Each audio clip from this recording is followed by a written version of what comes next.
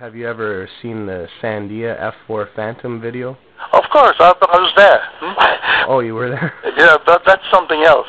Because in this case, it see in the uh, Sandia F4 test, uh, we had this great big chunk of concrete Mhm. and a relatively light plane.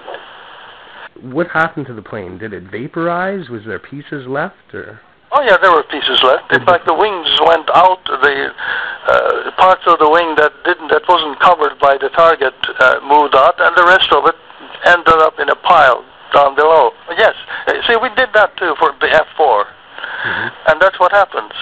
If the Mhm. mass, if the sitting mass is a lot and the hitting mass is low, then the sitting mass wins. Uh, but see, bear in mind uh, that uh, the World Trade Center had very light steel columns in front. Yes, not they were not very heavy. Not, not as heavy as the columns in the Pentagon. Yeah, but they were they were not. I, I think what we see it makes sense in terms of physics. Mhm. But we're going into very complicated physics. I mean, I would be lying to you if I said I know everything. Mhm. In fact, if I knew everything, then I would know exactly what happened inside the building. Uh, we had this great big chunk of concrete Mhm. and a relatively light plane. Real quick, what what happened to the plane? Did it vaporize? Was there pieces left, or? Oh yeah, there were pieces left. In fact, the wings went out. The uh, parts of the wing that didn't, that wasn't covered by the target, uh, moved out, and the rest of it ended up in a pile down below. Well, hopefully no. Huh? uh, but that's a very small mass.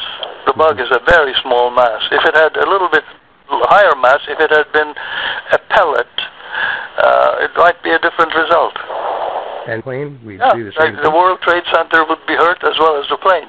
Mhm. Well, yes. Uh, See, we did that too for the F4, Mhm. and that's what happens.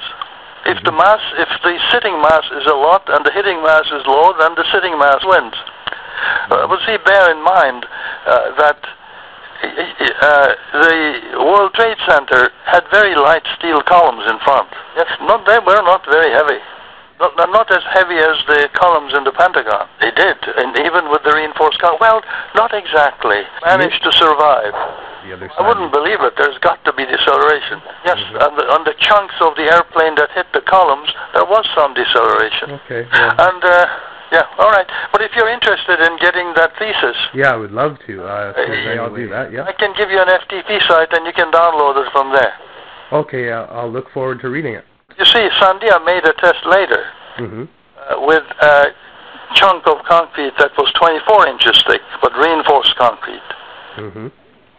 And in that case, the water went through. Well, it's just water in a can. well, let me ask you a question then. Uh, suppose I have a two foot thick reinforced concrete slab, 24 inches thick, Mhm. right?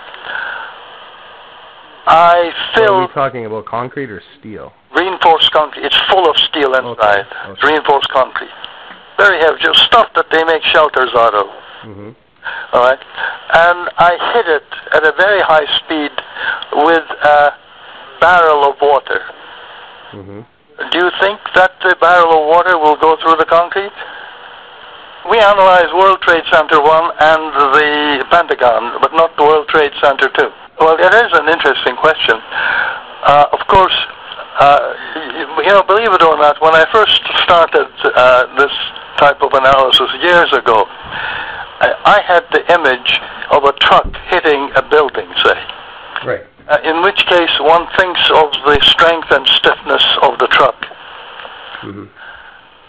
However, when an airplane flies at a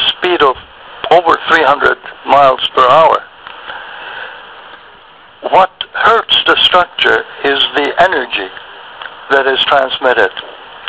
Uh, let me give it to you this way. you see, we took one year to model the airplane very carefully, Mhm. and we made an analysis.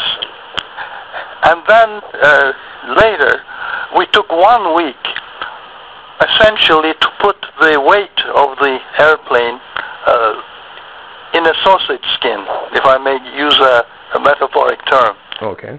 and use that instead of the airplane and we got the same amount of damage. It's what causes the damage is the energy. It's the mass times the velocity squared. Matter of fact, it is. You know, uh, that was one of the things that uh, actually uh, gave me confidence when we did the uh, Pentagon uh, structure. Uh, when the plane hits that heavy front of the Pentagon, it decelerates, and the rudder makes the fuselage buckle. You know, the, the rudder overturns Uh-huh. and makes the fuselage buckle. Uh, so no, the parts of the plane that hit the columns do decelerate. Uh, but what you see in that uh, animation is what's going through the columns. That's what I wanted to tell you. My curiosity was this.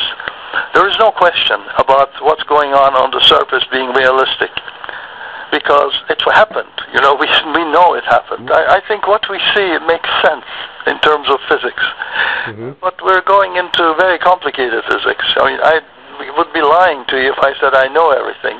Mhm. In fact, if I knew everything, then I would know exactly what happened inside the building. But I don't. As So- I told you, it could be 10 columns or 17 columns. I don't know. Uh, So I didn't have to analyze that. I was curious about what was going on inside. Mhm. And that's why I spent six years trying to analyze it one way and then another way. And my overall opinion is that as few as 11 and as many as 17 columns may have failed inside. Mhm. But I can't tell you exactly what that number is because the results are sensitive to what you assume at the beginning of the analysis. A large mass and a beer can it can be shot through a concrete wall if it goes fast enough.